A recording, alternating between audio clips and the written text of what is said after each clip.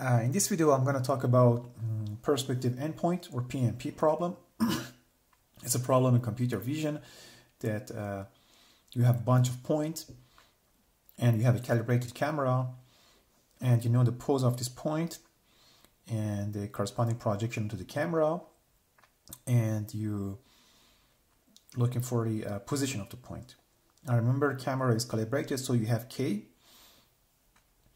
and uh, let's see how many points do we need to uniquely uh, identify the position of the camera.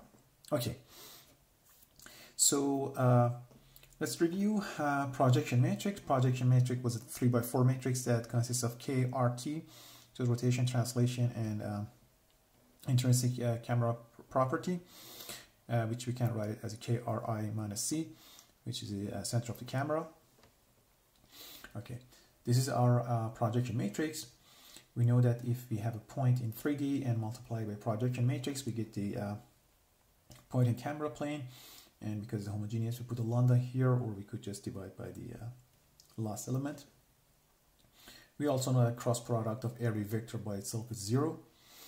And we also know that we can rewrite any cross product as a matrix form. We use this notation to distinguish that uh, this is a, a, cross product in a matrix form. You can write it like this. Okay, so uh, I uh, cross product both sides by this value. So it's going to be zero because I cross product by itself. It's a vector. And uh, remember here uh, we have a, a cross product and here we have a matrix multiplication. So I write this uh, cross product as a matrix multiplication. I use this property here. And uh, here, if I, uh, well, P1 is the first row, P2 is second row, P3 the third row.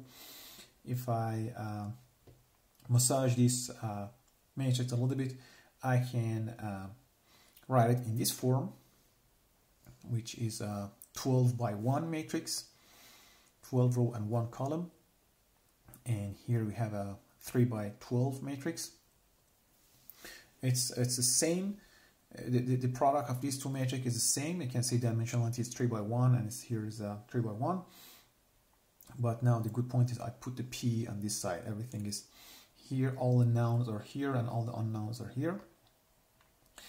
And uh, you can see x hat is a uh, x and a 1 so sorry for my bad handwriting, but you can see there are uh, lots of uh, zero here, one by four, one by four.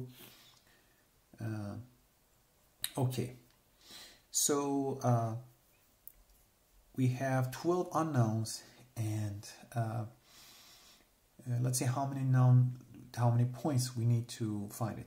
Every point give us two constraint, u and v on the camera plane. So if you have six point, we can uh, solve this problem. Okay, so uh, if we uh, put uh, six point here and put them in this big, big matrix and put them next together, uh, 6 multiplied by 3 going to be uh, 18. So we get a big matrix 18 by 12 here. Here we have our unknown matrix 12 by 1 and here it's give us a 18 by 1 matrix which is all zero. And we know that how to solve it. It's pretty easy. Uh, we just get the SVD of uh, this matrix and then uh, the last column of the uh, SVD, uh, the VT from the SVD is the uh, answer for our problem which is this. So we compute the SVD we get six point we compute put it here we compute the SVD and uh, last column of the V transpose is the uh, project is a P that we're looking for. So remember I said uh, mm, our camera is calibrated so we have the K and we're looking for uh, now. So we have the P from SVD and if I uh, multiply both sides by k inverse, I will get R and T. This is 3 by 3, this is 3 by 1, so it's going to be 3 by 4. and this is uh, k 3 by 3 p 3 by 4 so this is also 3 by 4 uh, but we can't just simply say okay uh, r is the first three columns and t is the last column of this matrix we, we, we can't just simply say that because r should be orthonormal r is a rotation matrix the magnitude should be 1 if you multiply by itself it should be identity and uh, it's orthonormal.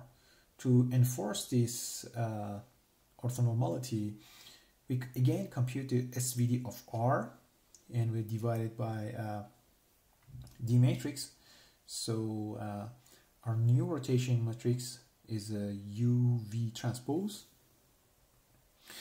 And uh, both of them are unitary matrices so it's also a product is unitary and it's a valid rotation matrix now. And because we uh, have done this here we have to also do this for the uh, translation. For translation uh, as I said the last column of uh, k inverse multiplied by t if you divide it by uh, alpha oh sorry by delta 1 which delta 1 is the uh, first eigenvalue on the SVD decomposition it gives us the t so by having six point uh, we can uh, uniquely uh, identify R and T for a PNP problem. Thank you.